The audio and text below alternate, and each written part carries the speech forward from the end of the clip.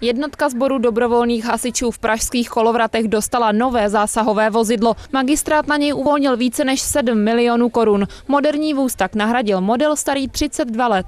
Už se na ní projevuje zub času, už byla několikrát na podstatně rozsáhlejší opravě, takže jsme rádi, že magistrátu přišlo rozhodnutí, že zakoupí teda novou velkokapacitní cisternu, protože určitě nám to usnadní práci a i uspoří spoustu času. Tato jednotka se nachází v části Prahy, kde, kde to plošné pokrytí není až takový profesionálním hasičem, takže vlastně pokrývá všechny jednotky odborných hasičů v rámci území hlavního města Prahy. Aby hasiči dostali do nového vozu vše, co potřebují, projevili během vývoje vozidla také vlastní iniciativu. Například některé části nového vozidla si navrhovali sami. Je tam dvojnásobný počet hadic, než je u klasické cisterny.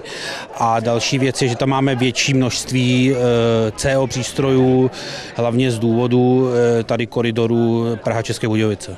V rámci slavnostního předání nového zásahového vozu se šestikolovému kolosu dostalo i požehnání od generálního prefekta křesťanské policejní asociace majora Jiřího Ignáce Laňky.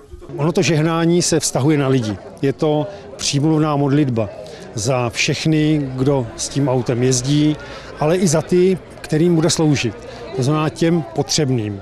No, té vyšší podpory eh, prostě tady na zemi stále máme zapotřebí. Nové zásahové vozidlo disponuje například automatickou převodovkou nebo větším úložným prostorem. Sloužit by teď mělo minimálně dalších 25 let. Kristýna Svobodová, Televize Praha.